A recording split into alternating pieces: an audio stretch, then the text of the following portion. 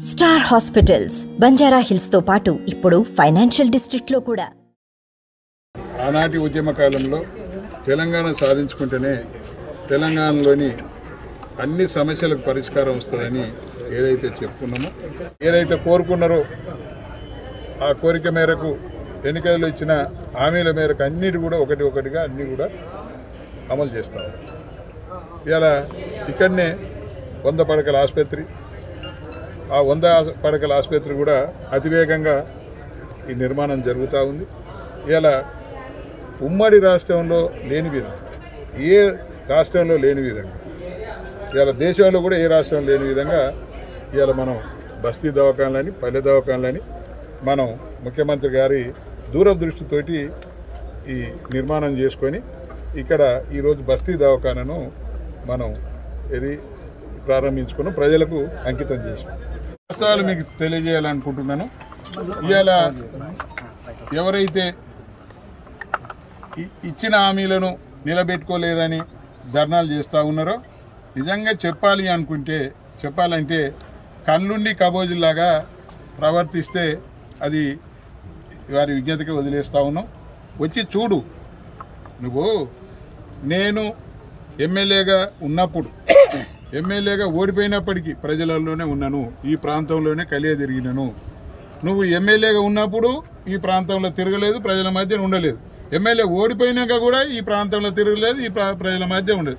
కేవలం ఎన్నికలు వచ్చినప్పుడు మాత్రమే సంక్రాంతికి గంగిరెద్దులు గంగిరెద్దులు వచ్చినట్టు వచ్చి డూడు బస్మన్న అని ప్రజలను మోసం చేసి మళ్ళా గెలవాలని చూస్తా ఉన్నా. కుదరదు. రా. ఎక్కడ చర్చకు వస్తావు? రా. ఇలా చౌటుపల్లికి రా. అభివృద్ధి చూపిస్తాం.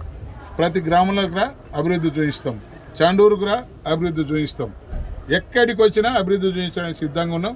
కానీ ఇలా నువ్వు కాకమ్మ కథలతోటి ఏదో ధర్నాలు చేసో గిర్నాలు చేసో ప్రజలను తప్పుతో పట్టించి మళ్ళీ గెలవాలని చూడ చూస్తే మాత్రం ఇక్కడ ప్రజలు చైతన్యవంతులు. తప్పనిసరిగా మళ్ళొక్కసారి బొంద పెట్టడం ఖాయం. మొన్ననే బొంద పెట్టి నీకు సరైన సమాధానం చెప్పారు నువ్వు మాట మీద ఉండేటోని కావు వచ్చిన బాధ అంత ఏంటంటే. ఎందుకు అంటే మొన్న ఏం చెప్పినావే? ఈ ఎన్నికలలో ఓడిపోతే నేను రాజకీయ సన్యాసం తీసుకుంటాను మళ్ళీ ఎందుకు వస్తున్నావు? తీసుకో రాజకీయ సన్యాసం. నిజంగా నువ్వు మాట మీద నిలబడేవాడివి అయితే తీసుకో. మళ్ళీ ఎన్నిసార్లు మోసం చేస్తావు ప్రజలని? తప్పు కదా? ఈ పార్టీలకు పోదామా? ఆ పార్టీలకు పోదామా? ఆడ టికెట్ ఇస్తాడా? ఈడ టికెట్ ఇస్తాడా?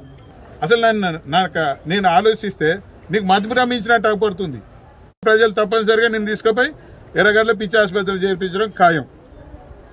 మరొకసారి ఇలాంటి పిచ్చి పిచ్చి పనులు చేయొద్దు. ఒక మిత్రునిగా నేను మంచి సలహా ఇస్తా ఉన్నాను.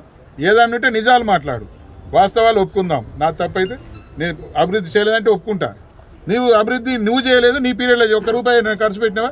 పా ఊళ్ళలో పోతే శిలాపలకాలు ఫౌండేషన్ చేసిన శిలాపలకాలను చూస్తే తెలుస్తుంది అభివృద్ధి ఏం జరిగింది అనేది అందుకే అందుకే నిదర్శనాలు కదా అవి.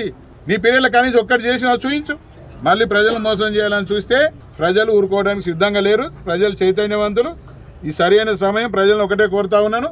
ఎవరో కళ్ళబుల్లి మాటలు చెప్తే కాకమ్మ మాటలు చెప్తే మోసపు మోసపు మాటలు చెప్తే నమ్మబాకండి.